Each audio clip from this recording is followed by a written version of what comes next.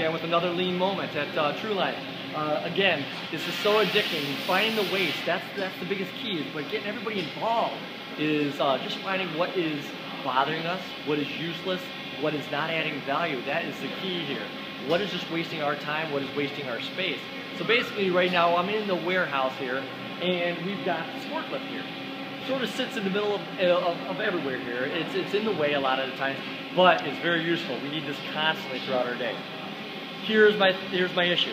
We got this ramp. So we got this huge ramp right here that's causing a lot of issues. We could have safety issues, but it's just taking up space. We want to remove the ramp. Because a lot of times the guys will want to come over here, get the oil, they'll go ahead and take our, uh, uh, basically our, our containers and release the liquid out of them, but this is in the way. This is just a trip hazard, it's in the way constantly. When our trucks come in, we use it for them, and it works phenomenal. But we got another idea. We're probably gonna go hydraulic, get rid of this lift, put it into the ground, and boom, it's out of our way. We can put the forklift on it. It could be its home.